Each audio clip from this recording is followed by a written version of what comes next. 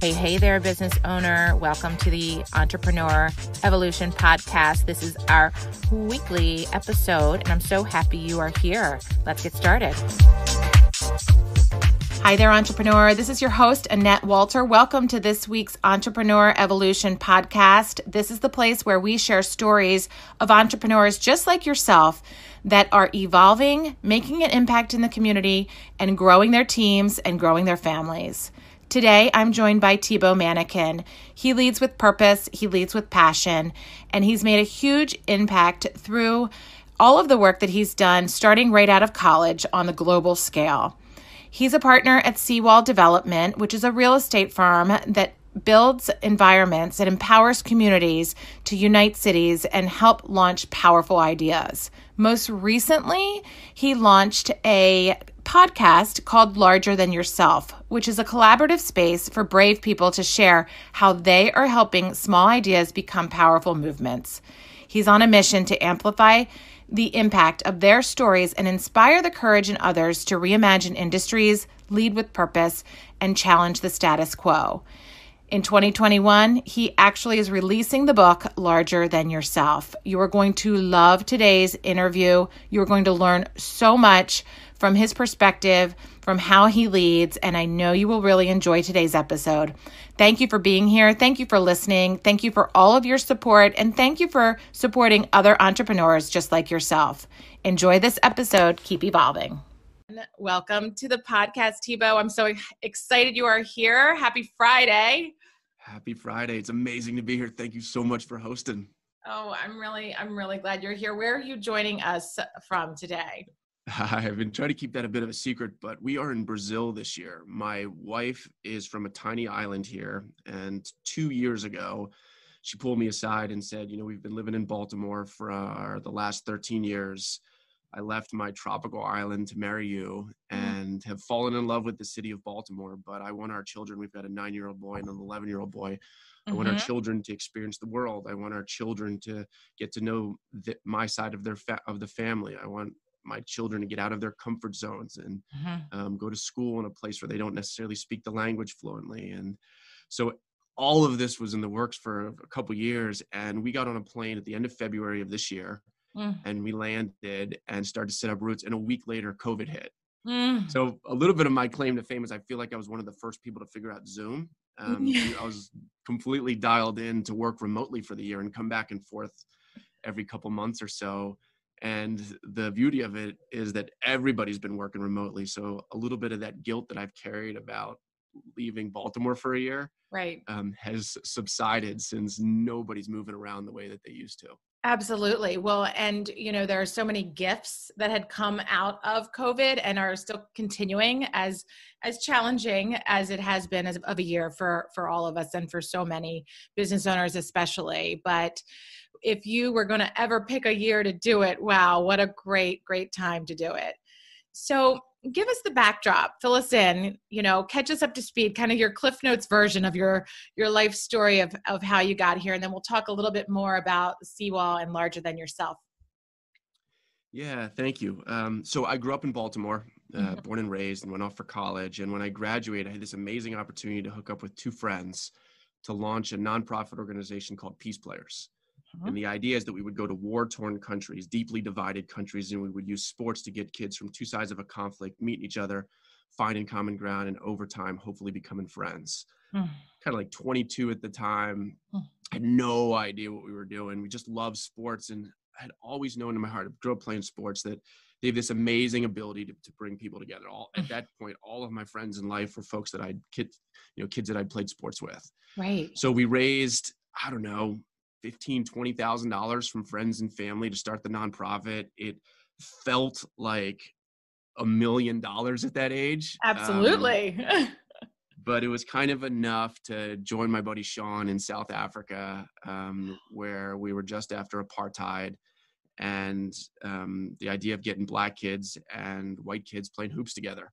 Mm. And so we showed up there, and we're um, the program starts to pick up immediate success. Um, we start we're in the black townships, we're in the white suburbs, we're getting these kids mixing together through sports, um, and I don't know, we're kind of like three months into it. We begin to run out of money. Uh, Sean's brother Brendan was at home fundraising for us, mm. um, but it was the it was really tight in those early days. And mm-hmm. I'll never I'll never forget this one morning. The phone rings, and it's Nelson Mandela's foundation. Wow. And Nelson Mandela's foundation calls and says, Nelson, I'm a huge President Mandela is an enormous believer of the power of sports to unite. Oh, wow. And he wants to become your largest uh, sponsor, donor. And so I'm like sitting down to not pass out and, right. with, with, with, this call. Um, and it wasn't Mandela's money that was the most significant, right? It was a huge chunk that was the sort of the beginning of the fundraising efforts in this country. But it really like began to propel us forward, um, and it gave us this credibility behind us that mm. now we were really here. Mm-hmm. Um, and uh, and that led us to uh, replicating the model all over the world. Wow. Um, we were we had already been running a program in Northern Ireland with Protestant Catholic kids, and we'd been running a we began to run a program in the Middle East with Israeli and Palestinian kids, and we were in, we moved to Cyprus with Greek Cypriots and Turkish Cypriots. So for like six years, I, I lived this fascinating life. I had like a backpack and a surfboard, and we were bouncing around from country to country. And what we were really clear was that it wasn't our idea, right? This concept of sports to unite. It had always existed, been sitting on the tip of the universe's tongue, and for thousands of years since like people existed and played sports it brought them together um, and so our job wasn't to go show up to these countries and say as a couple white guys we've got the solution to end generations of of division and separation and hatred and war.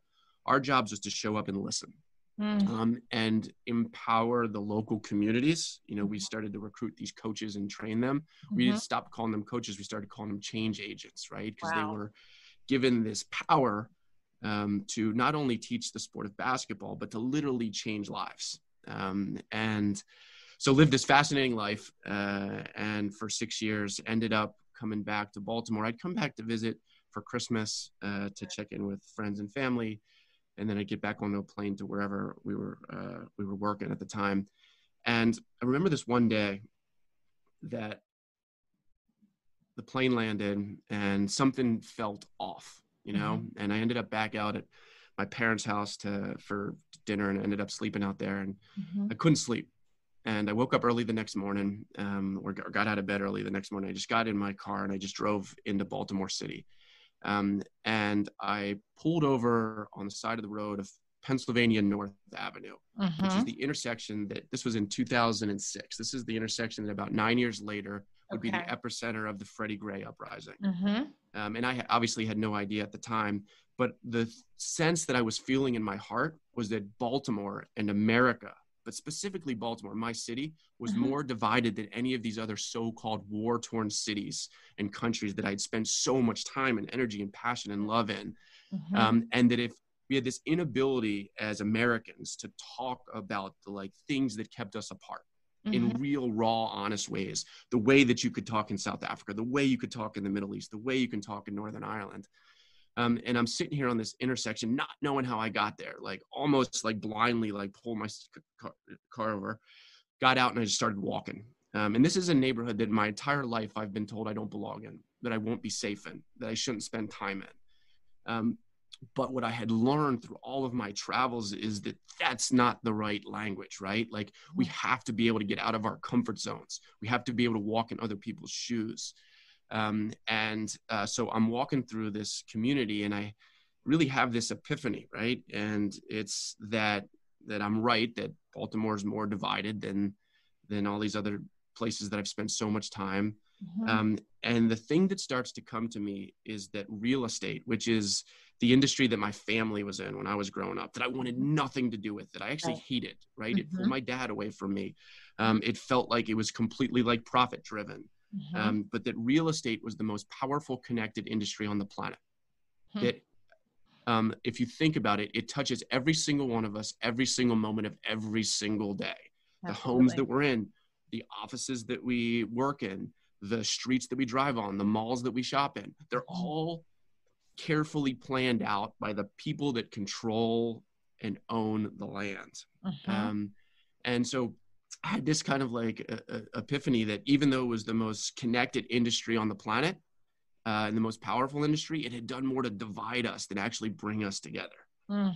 So I got back in my car um, and I started taking notes. Um, and I went and and talked to my dad, who's just a, a hero of mine and of so many people, um, mm. and said, "Dad, um, let's launch a real estate company, but let's launch a company that reimagines the real estate industry altogether."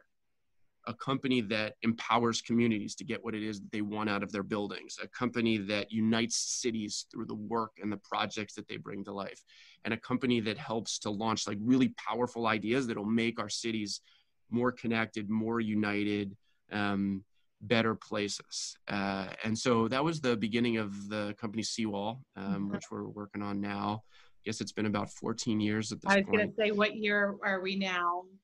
Yeah. So, uh, uh, so we launched. So I got back in 2006 from the the travels, and mm-hmm. we launched Seawall. I think in 2007. And mm-hmm. interesting time. Yeah, yeah, yeah. So we launched it right at the beginning of. We literally closed financing on our first project the week before Lehman Brothers collapsed, mm-hmm. and right, right as the Great Recession came, which was amazing. We couldn't have put, picked a better time to to to get into this work. Um, so I think it's been about 13, 14 years and happy to talk about as any of the projects or the work that we've done. But absolutely. I've, I've, well, that story alone, I mean, I can just tell you, I just got chills like three times. And, you know, it's interesting. Uh, Baltimore is, uh, we always joke around that it's like the rubber band state, you know, everyone who grows up here they leave but they somehow end up coming back. It's because you know obviously it's a, a deeply connected community. Um, but to have that that day and that moment where you were just woke up and then drove and this and it hit you it all hit you like everything that you had experienced in your travel and then the purpose of your past and your family history it really all collided in such a epic way. That's awesome yeah. so so take us in those first couple years recession uh, i that was when I was had just started my former company, a real estate, a residential real estate firm. So I feel and remember all of your pain. Um, so walk me through that. How did the first project get going, and what did you learn the most in those first few years of Seawall? So the concept behind Seawall was that nothing we would ever do would be our idea, right? We would be driven by what the communities that we were going to work in wanted out of mm-hmm. buildings mm-hmm. and we were going to be driven by what we call the end users the people who were going to be living and working in the buildings mm-hmm. and for us our passion mostly through my dad and his work around education mm-hmm. but mine too was around those people who were working with kids um, whether they be educators and teachers or right. nonprofits who are running important programs that support the school system so we had been listening to all of these teachers for so many years who were telling us that they were showing up to Baltimore for the first time and weren't able to figure out the the community. They had like five days to figure out where their bank was going to be, what gym they were going to go to, where they were going to live, um, who they were going to live with, mm-hmm. uh, what school they were going to teach at. And it was an overwhelming decision in the new city. So they were getting thrown into arguably the hardest job on the planet, uh, mm. teaching in our inner cities um, and they were getting burnt out during the day and then they were moving to and then they were going home in the evening to less than ideal circumstances right um, and then they were getting burnt out at night because it took 30 minutes to find a parking spot um, mm. um, or the person that they lived with um, wasn't calibrated the same way didn't have the same kind of day and so all these teachers started to say hey it'd be really neat if there was a building for teachers wow. so when we showed up to baltimore for the first time um, uh, we knew that we had a safe landing place, like a cool, funky building where the rents were affordable and where we could collaborate and cry together and share ideas and laugh together. And so we were just taking notes, you know, like this sounds amazing. Why wouldn't every city in the world have a teacher, have a building that rolled out the red carpet for the people who are doing the most important work in our cities? Anyone focused on educating the future generation? Wow. Simultaneously, we started having these conversations with all of these nonprofits um, who are underpinning the success of the school system Teach for America, Wide Angle Youth Media, Playworks, mm-hmm. um, Young Audiences, right? Um, that were spread out in buildings all over town in their own space, renting their own conference rooms, having their own kitchenettes with no ability to really collaborate unless it was very intentional. Mm-hmm. And so we started taking all these notes and realized that this was the beginning of what became called the Center for Educational Excellence. We wanted to find a building that could house some teachers and some nonprofits. Mm-hmm. And the idea was we were going to build a we are going to buy a little four unit kind of row home and convert those four units into apartments for teachers and keep them affordable. And we looked all over town. We looked in all of the fancy neighborhoods the federal hills and the cantons and right. we just couldn't make any of the economics work for anything that we were trying to do right? The the, the, the way we wanted to structure our rents to be really below market. Right. Just we couldn't we, we couldn't make it work. Mm-hmm. and a Mm-hmm. friend of ours told us about this building on the corner of Howard and, Tw- Howard and 26th Street in the neighborhood of Remington. Mhm. Um, for your listeners who might not know Remington, it's where R. House is, the food hall. Um, but at that point, most people, unless you live there, didn't really know what Remington was. Um, and so we meet the a buddy of ours and the bank who was foreclosing on the building Mhm. from some fancy developer who was going to do high-end apartments or condos, which would not have worked in the neighborhood. right Um, and the neighborhood just kind of like pushed him out, and he never got his project off the ground. So the building's sitting; it's been vacant for 30 years. wow It's a hundred thousand square foot collapsing old tin can manufacturing facility that was built in like 1862 or something like that. Mm. Um, all the windows are boarded up. There's trees growing out of the roof. Um, the banker and our buddy like take one look at our faces as we're getting to like ready to walk into the building for the tour, and they're like, "Are you sure you guys want Right. to want to go on this tour? Do you know what you're stepping into?" So we go on this tour of this building, and there are like pigeons or bats flying around. There are mattresses with like booze bottles and heroin needles all over the place oh, wow the roof has collapsed in and like three quarters of it and we're walking through and the bankers like looking back at us like telling like th- thinking that we're crazy but what we were able to see Mm. through all of this mess Mhm. is the beauty of the building right like this was the dream that we had been looking for the opportunity a blank canvas um, wow to create this amazing space for teachers. So we get out of the tour and like we step out into the street and breath of fresh air, right?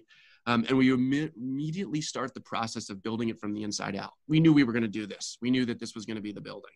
Um, so we sent out this email to uh, probably a thousand teachers through our like connections and all of these programs in Baltimore, saying, "Hey, um, we've heard that uh, there's an opportunity to create a building for you guys. Um, for those of you who are interested in helping with the planning, meet us on the corner of Howard and 26th Street.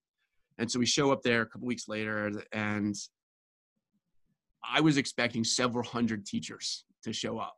and, And half an hour later, the last of like maybe 10 teachers trickled in. okay And we said, you know what? These are our 10. Um, and let's Awesome. roll our sleeves up and start the work. So we took them on the tour and they fell in love with it, you know? Um, and we were very clear that uh, this was their building. Our job was to help them realize their dream. And for 12 months, they designed every square inch of their apartments. They chose their own rents. They picked the amenities that they needed to succeed as teachers within the building. We did the same things with the nonprofits all the while we're having these like amazing groundswell with these teachers and we're also bringing like our financial advisors and our accountants Mhm. and like people that really like our wives to tour the building Mhm. and every one of them was like you're crazy this will never work like this is a terrible investment you can't keep the rents low um, this isn't something you should focus on you're going to lose everything you've ever had um, run away from this opportunity. Like no one's going to want to live or work in the neighborhood of remington. This is a, this is a bad idea. But we were so driven like in our hearts we knew. And we Mhm. had seen it in the eyes of the teachers and the nonprofits who wanted to create this for themselves. And so slowly but surely like the plan started to materialize. At the same time we started working with the community. We went to all the community association meetings and we were very clear that this isn't our idea that there are teachers and nonprofits who want to come into your neighborhood rehab this old built old building and make it a place for themselves. Um, they want to become they want to they, they want to come in and and they want to participate in the success of this community. And of course everybody loved this idea of converting this old collapsing building into a center for educational excellence. But in that first community association meeting i love this um, it was all like high fives and everyone was like so stoked about this. Right. And um, one guy raises his hand and we're like oh no he had a very serious look on his eye. He was like you know what? Um, this is cool but if you rehab this building and you only allow the teachers who are living in it and the nonprofits who are working it into the building then we as the community won't have the opportunity to participate in the success of it. Um, and it would be really cool there's no coffee shop in this community. It'd be really cool if you took on the corner of howard and 26th street and you carved out a little thousand square foot space for any kind of coffee shop that would be really important to us. And I'm sitting here thinking, that's the worst idea I've ever heard. Okay. Howard and 26th okay. Street. Howard and 26th Street is not a street that you would walk to um, right. um, at the time. Right. Dark, right. collapsing buildings, boarded up houses that surrounded it. Mm-hmm. But we listened, um, and he mm-hmm. he was pretty funny at the end. He was like, "As long as it's not a Starbucks, because if it's a Starbucks, I'm gonna throw rocks through the window." Every right, night. right, right. Big company, um, right? uh, but the idea was to you know to to make sure that the community knew that we were coming in as neighbors and not guests, and that this yes. wasn't our project; it was theirs. Right. And our job was to be quietly behind the scenes, listening every step of the way, helping them, just like we were going to help the teachers and the nonprofits realize their dream through this building. At least for, for the dream for the building and then we did the same thing with the team right um, the team that's involved in helping to bring it to life because we didn't know how to do this mm-hmm. you know while my dad had done some development he had never done urban infill mm-hmm. he had mm-hmm. never done fixed up a collapsing old building we didn't know how to pay for this right, right like right the total price tag for the redevelopment was 22 million dollars mm-hmm. which was 14 million dollars more than the bank debt would support Okay. So we had this $14 million gap in the capital structure that right. we had to find a way to fill. Absolutely. And we just brought people in who like mm-hmm. specialized in that, who could get behind it, who could teach us things that we didn't know about creatively financing these kind of opportunities. Right. Really important, underappreciated parts of our uh, of our society. And it all came together. Like miraculously, we closed financing and construction started and nine months before we finished construction, the building was 100% leased. And by the time we finished construction, and this is like during the economic meltdown. Right. Of, so nine months before you started construction, it was fully leased nine months before we finished construction. Oh, before you um, finished. Sorry, sorry. Go ahead. And then when we finished construction, there was mm. a waiting list of over 300 teachers waiting to get into the space. And the beauty of it was we never spent a dollar on marketing or advertising. Right. It, it speaks to the power of building things from the inside out, right? Absolutely. It was never our project. My guess is that all these teachers who we had worked with went back to social media, which was fairly new at the time, and said, "Hey, there's these crazy developers. We actually don't like to look at ourselves as developers, but there's these crazy developers, and they they're going to rehab this old building, and it's going to be really cool. They let us like lay out our own apartments, and we got to choose our own rents, and the amenities we picked are amazing. Oh wow! And um, and uh, if they're never going to pull it off, but if they do, like you got to get in line. And sure enough, like slowly but surely, like we we uh, we, we, we began construction and as soon as it became became a real project the waiting list just started to grow. Um, so that was a really inspiring project um, it's an amazing project. It really yeah. is. It's a beautiful community project and it's it's so refreshing to go into that project and feel how people are enjoying it and just even the feeling that it gives you when you walk in, uh, the different smells, the different openness. It just is a really, really amazing vibe to live and breathe um, that building. It's it's it's amazing, and everything you just said. You started with your end user in mind. You knew your your target market ideally you know to kind of talk business textbook here right so you you start you had a huge vision but you didn't say we're going to build it and they'll come right? But you said these are the people that we want to serve. We want to do this specifically for the teachers. And you gained their feedback. And so many times as entrepreneurs, we miss the feedback from the people that we serve. And either we're afraid to ask for it, or we forget to ask for it, or we just keep on going head down, head down, thinking everything's okay. But the power of that feedback, and you're right, it's right in front of you and it's free to gain that feedback and have that input from from them was just genius really genius. And uh, you also said that some of your biggest critics were ones that were often the closest to you right? When you took them through the tour of the building and they're like you are crazy insane. What are you thinking? So how do you how did you just keep that strength going? How did you I mean, did, did you ever have doubt? Was uh, my first kind of part of that question. And then how did, what kept you going through it to get to the finish line during the biggest downturn and economic downturn of, of our history? So this is a, this is a funny story about mm-hmm. our biggest critics being closest to us. My, mm-hmm. we took our wives down. My dad brought my mom and mm-hmm. I brought Lola and we mm-hmm. went for a tour. Mm-hmm. Um, and my dad drove home with my mom and she said, Donald, of all of the stupid things you've done throughout your life, this is the dumbest. Um, and the story goes so sweet. I can't see her saying that. She's so sweet. she probably in a French accent, she probably yes. said it in a in a in a yes. nicer way. It sounded um, probably so beautifully when she said it because but according to the story, she refused to sleep in the same bed with him for a week. Um, and the beauty of it was that like once the project picked up momentum, my mom took full credit for it. Oh, I love it. But look, I mean, your your question is is an important one, right? Mm-hmm. I never for a minute doubted from the moment I stepped into that building. Oh, you didn't? And okay. I could close my eyes and literally picture the teachers in these like refinished brick walls with these massive factory windows that had been put back in, collaborating around like a copy machine, lesson sharing lesson plans for the day, the nonprofits working with the kids coming in. Okay. From the day that that vision entered my heart for the first time, I never questioned a single decision we made or minute we spent working on it. Um, wow. It was almost as if we had blinders on no matter how many people tried to talk us out of it, mm-hmm. um, we knew that the time for the first Center for Educational Excellence had come. Wow. And there was enough groundswell behind it from the people who mattered most, who were the people that were going to live and work in it, mm-hmm. and the neighbors who surrounded it. Um, and if they believed in it, then there was no stopping it. Mm-hmm. Um, and I tell people that all the time, especially like young people, mm-hmm. when we are launching ideas, it is really hard, especially when we're talking about reimagining entire industries. Mm-hmm. Um, and the majority of the feedback you're going to get is negative. Um, it's going to be people telling you that you can't do it. Those are important conversations to listen to.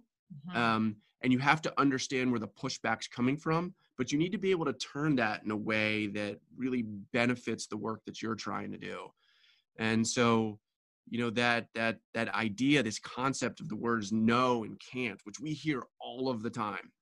Um, if i hear a hundred words in a day 95 of them are like no you can't. Mm-hmm. um, and again have to understand where the no and the can't come from but those are these like incredible drivers um, and i always ask myself what is this person missing? Why don't they see what it what we see at this point? Right? Right, right. Um, and uh, so yeah there there really there there really was never any doubt um, on that project or or any of the other ones that we've um, well and it's you know on. you you are an incredible visionary. You're you have that innovation in your head that you can just see it. It's almost like you, it sounds like you were just manifesting that project. You you were seeing it and living it and breathing it and living it through this the eyes of the teachers and the community and just kept that's what really kept pulling you through that. That's amazing. Well, yeah, thank you for saying that. We all have that, right? Mm-hmm. Um, the, the the separator is fear, you know, mm-hmm. um, and there's this fear thing that comes in and it like invades our bodies. Um, yep. and it, it, it goes directly to your head fear. Um, and it completely changes the way that we think about things. Our bodies our physical bodies know what's right and wrong. And i get into this like internal fight all of the time. Anytime there's a decision to make all right let's go. What right. is it that we're thinking about? The head's like no no bad idea. Like that's never going to work. Um, and the body the heart knows right? Yeah. and and and when you listen to that right when you're able to block out the fear then that creativity starts to explode in a completely different way. Yes. but our job as human beings our jobs as leaders and entrepreneurs is to block that fear to help those on our team block out that fear because with that explosion of creativity that's when all of this like magic begins to happen right? Absolutely. Absolutely. And you know it's oftentimes they say that that no is actually not yet. It doesn't mean no but it's just not yet for some people. They just haven't gotten there. And as fearless leaders as a fearless leader like yourself it we don't know all the answers but we just know that we can take somebody somewhere because we can block that fear. So when was that project complete? What was the actual completion date on that? 2009 we finished 2009. it in the summer of 2009 oh my goodness, time is just melting by, isn't it? That seems like yesterday. So then, um, walk us through the discovery of your next current project. How? What was the purpose behind Lexington Market and all of that, and the purpose of that project? And then I want to get to your book. Yeah, thank you for asking about Lexington. Um, and uh, I'll just fill in a little bit of details in between now, those last kind of 12 years. But um, so the first center for education was so successful mm-hmm. um, that we had to replicate that we had to replicate the model again right like teach for mm-hmm. america came to us and all of our lenders and investors a lot of them who had doubted us in the beginning were like hey this is on the cover of so many like uh, magazines and newspapers and oh. like this is the story that like we need to continue to tell how can we do more of these so we mm-hmm. got invited to replicate the model across the country um, wow. which is such a huge honor for like a tiny company to have this opportunity. So we did another one in Baltimore, a project called Union Mill in the neighborhood of Hampden Mm-hmm. Same thing, uh, did, it, did, it, the same way, building it from the inside out. Um, mm-hmm. Um, we went up to Philadelphia and found an amazing partner up there who looked at real estate the same way we did, not as a, a tool to make as much money as quickly as, po- as possible, but as a tool to empower communities. Um, and then we just started working in other communities throughout the city, listening to what it was that they needed. We've built a lot of charter schools, uh, creatively financing them and converting old factories and abandoned warehouses into ways to service kids um, in, a, in a completely different way. Um, and have and have done a, a, number of other projects, especially in that neighborhood of Remington, where mm. we take great pride in the community kind of coming to us and asking us to be kind of like their development arm right. for any kind of projects they had. They came up with this master plan that we've been slowly but surely helping them bring to life. Great. And I don't know, two or three years ago, um, literally the night before an RFP was due for the redevelopment of Lexington Market, which wasn't even on our radar, somebody reached out and said, Hey, you guys are applying for this, right? Like this is the perfect project for you guys. Like Baltimore needs you guys to be the developer of mm. Lexington. Mm. And we didn't have any time to um, think about it. We quickly huddled up and we're like, this is the opportunity of a lifetime. Wow. Do you remember going there as a kid? Oh yeah, yeah. absolutely. I, I, in, when I was a when I was in high school at like 13, 14, I was I painted commercial painting. I was uh, I worked for a painting company and we painted Lexington Market. No. It was, it was an amazing summer. We went down there every day and it was the greatest place to people watch. Mm. Everybody from Baltimore showed up there. It was um, great. It was amazing. Uh, my dad tells stories about his dad bringing him down on a trolley and yes. You know, um, you didn't start your weekend unless you had right. you know step set foot in lexington part market. of your tradition. There's a well this is an off the kind of podcast story but they have a chocolate eating contest and uh, sean was actually in it and won it one year. So that's a whole other story for another time but i love that. I love that. Oh, so you have to bring that back. You have to promise to bring that back. We will. He's going to be our, our first guest uh, chocolate eater but go ahead. So, sorry. Yeah. So we got the team together and we agreed that this was the perfect project. We scrambled to submit the uh, an, applic- uh, uh, an application for the RFP and right. we got a call call back and we're awarded the project. And we were very clear from the beginning um, that this isn't a real estate project, right? So I have the fortune of sitting in all these meetings throughout the city of Baltimore where mm-hmm in all of these closed doors, everybody talks about how divided Baltimore is, mm-hmm. um, about what can we do to bridge the divides that exist in our city now more than ever. But it's all noise, right? Yep. Like I've never seen anybody like act on it in a significant way that starts to move the needle. Yeah. Um, including myself. Of all of the things that we've tried to do, that's the one was one of the things that we haven't had success in is like really like bridging the like racial divides that exist in the city of Baltimore and the economic divides that exist. Mm-hmm. And what we realized when we began to submit the application for the RFP for Lexington was that um, it really, uh, it really wasn't. Uh, uh, the, what, what was missing from the story was a physical place to bring people together.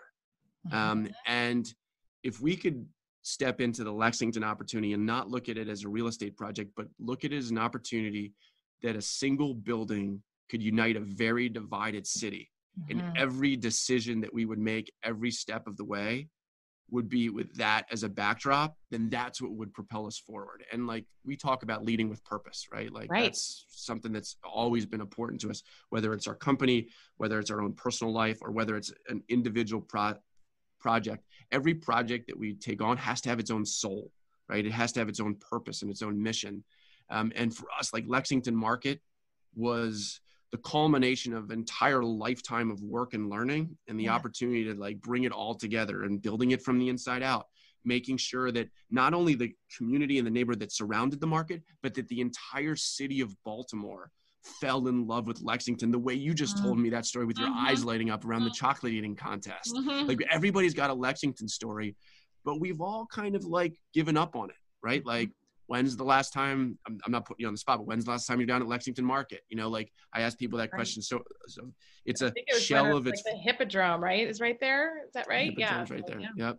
Um and oh, there is an opportunity to bring lexington back in an incredibly inclusive way where mm-hmm. everybody in the city takes a little bit of ownership in it um, a little bit of pride of authorship of like what it's to become and it's been fascinating. One of the biggest things is the lack of diversity, racial diversity, and representation from the black community in the vendors that exist in Lexington today.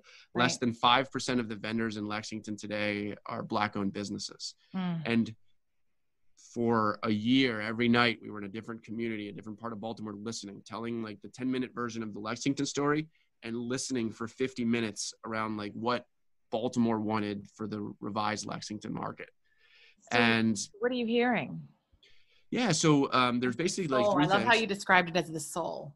Yeah, so there's there's basically three things. The first uh, and and the thing that we heard the most was that it the um, the vendors within the market need to represent the diversity of the city of Baltimore. Mm-hmm. Um, and we just launched our first. Uh, we just wrapped up our first round of our applications for the new set of vendors. We'll have 50 spaces available. Okay. And this is launching this vendor application process in a time where the food and beverage industry is getting hit harder than it ever has. Mm-hmm. That at least 50% of all biz- of, of, all food businesses have either gone out of business or will go out of business. Mm-hmm. And the idea of like thinking about opening a, a, a business, we're like, wow, this timing was terrible. Um, but we like stayed true to our course in really believing right. that if it was done in an inclusive way, if we could build the groundswell and the love of Lexington behind it, that people would apply.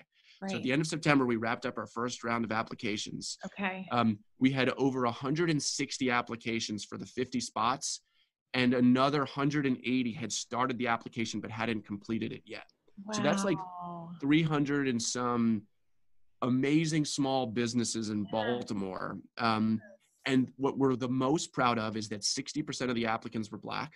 Great. 60% of them were women owned businesses. 15% Great. were um, uh, immigrants. 15% mm-hmm. were white.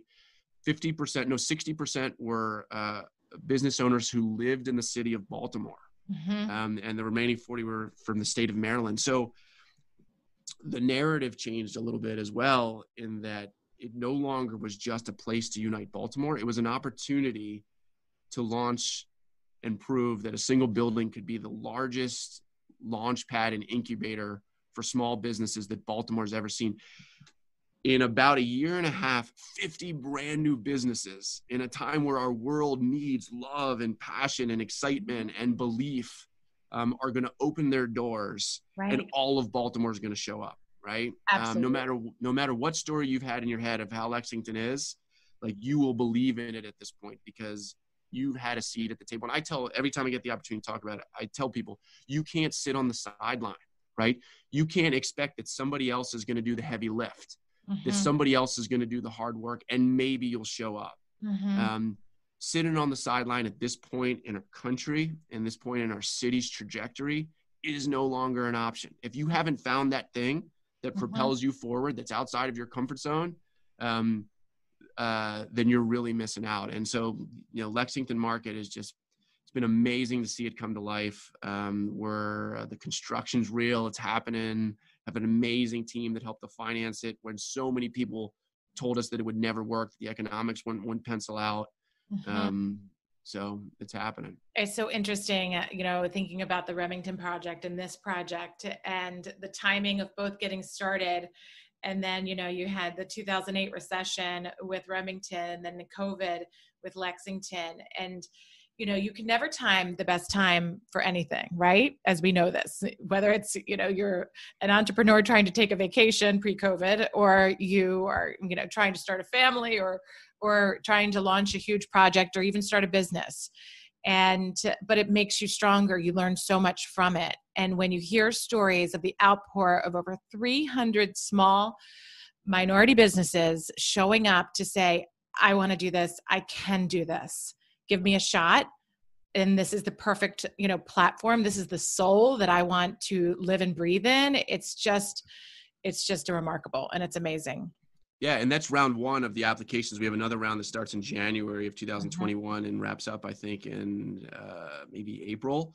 Mm-hmm. And you know, the expectation is that round two there'll be even more applicants than there were, were, were in the first round. And we're we're not just throwing out applications and receiving them. The neat thing is that like we've um, we've built this incredible like technical assistance component behind the applications mm-hmm. so that like every step of the way from the time you like see the application to how to fill it out to how to like plan for your business success to how to open to how to succeed after mm-hmm. having opened right um, every step of the way like our team has put things in place to hold the vendor's hand to make sure that they succeed um, in moving their idea it's forward. It's so important. It is so important, and they need that that backbone. They need that structure. And I love how you, you know, don't like to consider yourself the the classic traditional developer. You really are a community a community inspiration.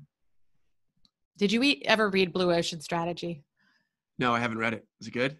Yeah well, it's a it's you know a book i guess it was i read it back in 2007 probably 2006 2007 and it just talks about you know, disrupting different uh different types of businesses and and uh you you really i think you enjoy it.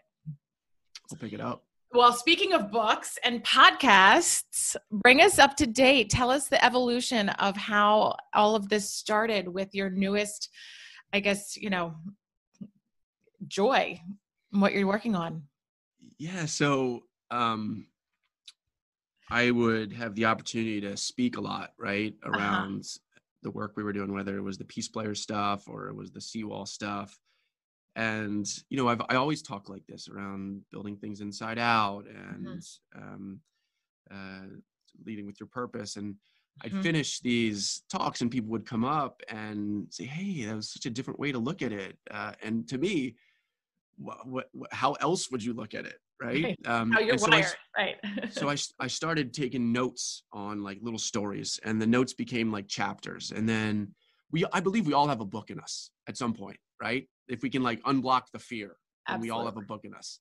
Yes. And uh and i unblocked the fear mm-hmm. and the those notes became chapters and those chapters became a book um, and so I've been working on it for four years at this point, um, mm-hmm. and it's finished.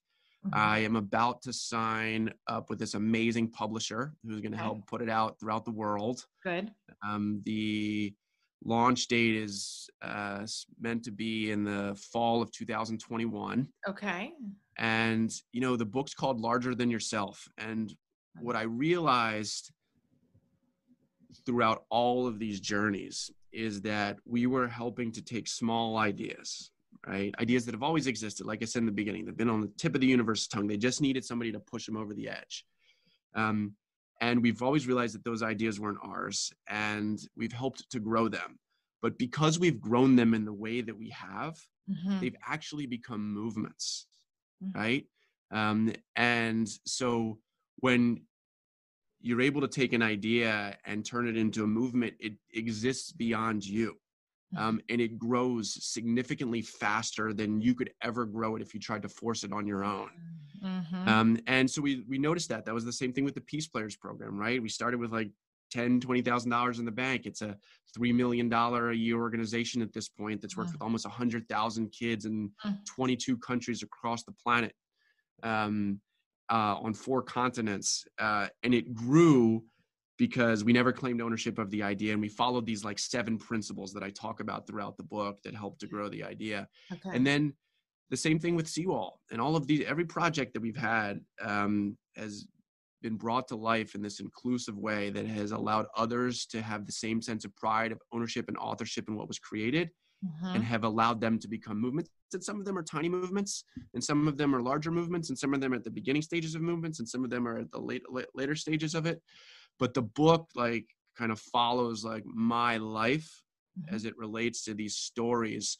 And i kind of have like a a, uh, a front seat. I try to remove myself from as much of the stories as possible mm-hmm. and tell the stories of those who have taught me along the way. Oh, wow. Um, so it's a series of 21 different like inspiring stories every step of the way with these aha moments throughout that hopefully teach the reader yeah. how to grow an idea into a impactful and powerful movement so as the book was taking shape um, and into the hands of the publishers i wanted to continue the growth and the learning mm-hmm. um, i don't claim to have, be right or have any of the ideas and i want to always learn how others are looking at growing ideas mm-hmm. so we started a cool little platform called larger than yourself it's largerthanyourself.com Awesome. And every week we release a new story, both in written word and in a podcast form, around some entrepreneur, some really brave risk taker from some place in the world mm-hmm. who has taken a small idea,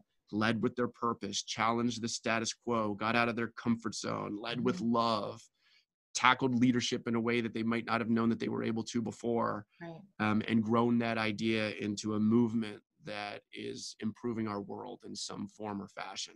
Right. So it's been fascinating. Um, I am a terrible writer, which is why it's taken as long as it has. Um, but I'm both inspired and stoked for the book to come out, but equally as excited about every time I get to sit down for an hour with somebody who's literally changing our planet um, and making it a better, more united, more connected place.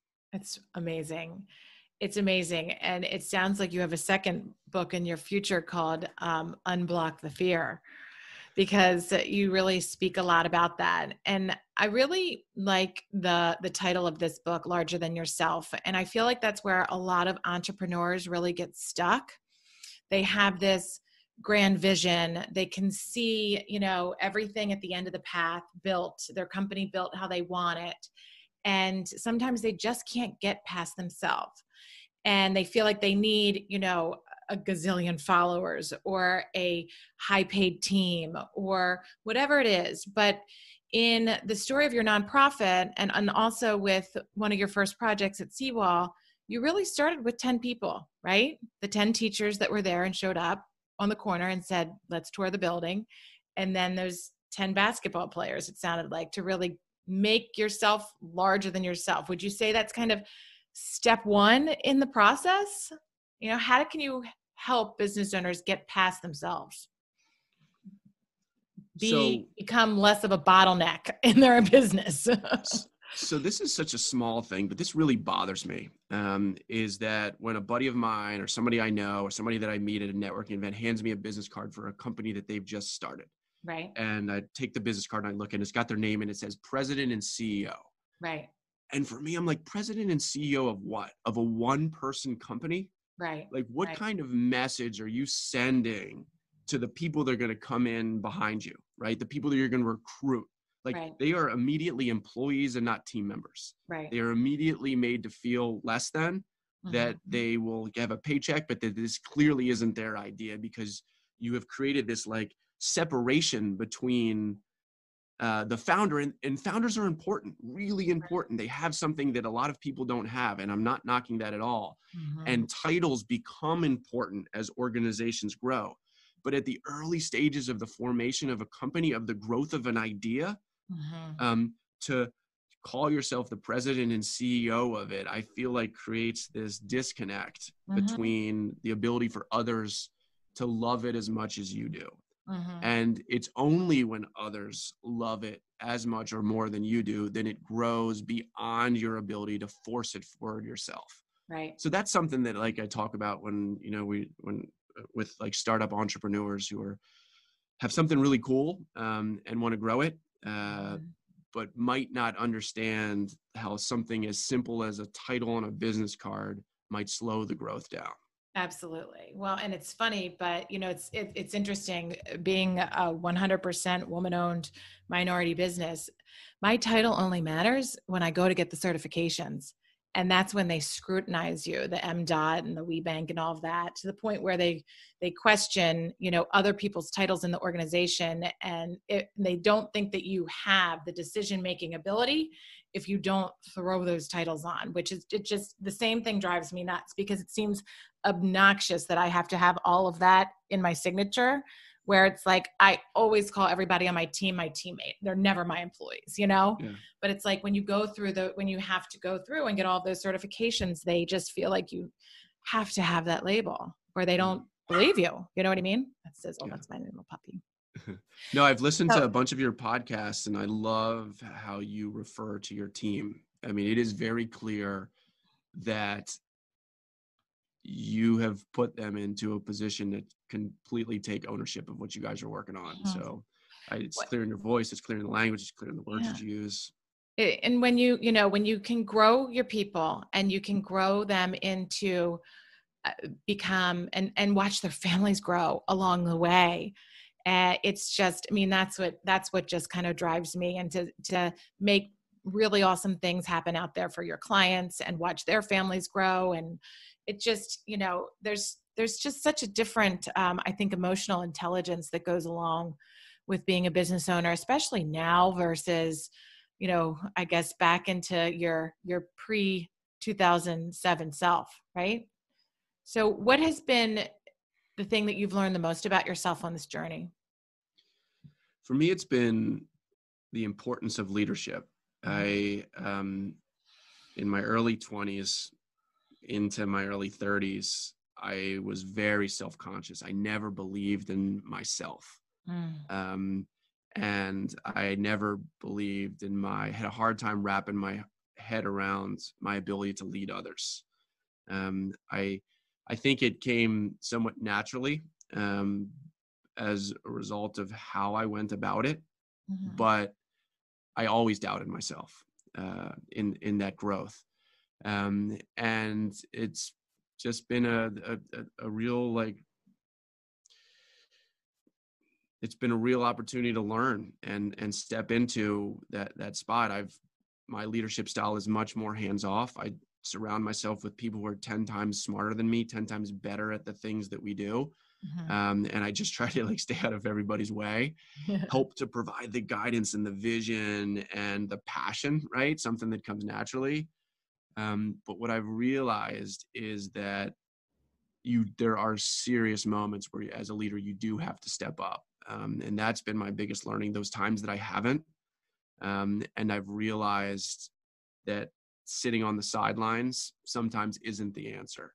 Mm-hmm. So for me, the biggest growth, the biggest struggle, the thing that I've um, uh, learned the most about is stepping into the, uh, the role as a as a leader, something that might have come nat- naturally to me, but that was very uncomfortable for a long time, mm-hmm. um, and that I'm still getting comfortable with today. Mm-hmm. But that now, with a greater understanding of um, how to do it more effectively and efficiently, it's been really helpful. Mm-hmm. Well, just through the work that you're doing with larger than yourself, you can see and feel just how much you've grown over the past uh, couple of years, which is awesome. I cannot wait to read the book. I can't mm. wait at all. Um, so, are you a, a, book reader? Are you a business book reader? Pardon, sizzle. Sorry. it's okay. Um, yes, I love reading. I love reading. Okay, tell us some yeah. of your favorites. So, the greatest book ever written is called The Alchemist by Paulo Coelho. Okay. Um, it's actually a Bra- Brazilian guy. Okay. Um, and fascinating story about a boy, uh, his journey, um, finding love. Um, but it's a it's a real um, life book. Um, you know, t- total fiction. Uh, mm-hmm. But I probably read that book once or twice a year just to kind of reground myself. Um, and then I, I love biographies, autobiographies. You yes. know, like Nelson Mandela's. I'm a big Che Guevara guy. Um, there's a book by Dee Hock, who's the founder of Visa, called One from Many. Okay. Which is one of the greatest books I've ever read. we know so little about the little plastic credit card and its history and Right. but visa is the largest uh, uh, company on the planet i believe um, Wow. and it's just kind of quietly in your wallet Mhm. based on like how they brought it to life and the like network of connections that were created where you don't even think about it um, Mhm. and you don't need to think about it so yeah i love That's great. That's great. And uh, what other podcasts do you like? I know that uh, I'm going to drop in the notes the link to yours. It's fabulous. Um, tell me some other ones that you like out there. Are you a podcast listener? I don't listen to a lot of podcasts. I Yeah. I I've I listen to those that my friends Recommend. host.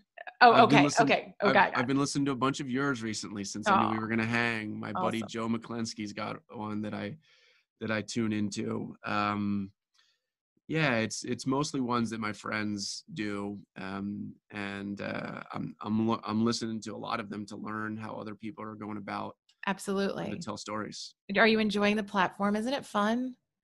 It's fun yeah and I, I I selfishly if no one listened to my podcast i get an hour uninterrupted with a hero of mine or somebody Right. that's changing the world and if nothing else comes of it Right. at least i got the download for that time Oh, I know. That's what I think I love the most. It's like I didn't know this much about you ever. And we got a chance to really just kind of hear all the stories. I mean, that's what gives me fuel also. It just it keeps you going because we care. We really care as entrepreneurs and leaders. We simply care and I and that passion of making the impact and building the community and making sure that, you know, the families out there of all different shapes and sizes are really um, enjoying life and being good people and um, coming together is just so powerful. So, what do you think is the expected open time on Lexington Market? When are we going to have the chocolate eating contest? Yes the chocolate eating contest make sure you tell sean is scheduled for q1 of 2022 Awesome. I love it. he's got some time to practice Oh my goodness. Yeah, he has a whole strategy. He like grows a beard because you, you can't use your hands. So it's like I think it was like a chocolate strawberry on a stand and then like a cupcake and then like a chocolate cake and then something else. And you go up against another player and basically you just can't use your hands, but you just kind of go at it and it was on the radio and everything. It's a big deal. Bring it back. i love it well, I can't thank you enough, Thibault, for being here today. You are an amazing leader and you are continuing to do amazing things out there. I can't wait to read your book. Uh, thank you for everything that you do for our community in Baltimore and um, say hello to your family. And thanks so much for being here. Yeah, thank you for what you're doing. Uh, thank you for hosting these conversations. Thank you for including me in it. It's been a, been a real blast hanging out. Absolutely. Thanks. Bye bye. Yeah. Wow, what an episode. Did you learn something new? I hope so. I am so happy you were able to be here with us today. I'd love to hear from you. Leave me a review and I will be sure to read it and respond to you. Also, if you'd like to email me, my email address is yourock at ievolveconsulting.com.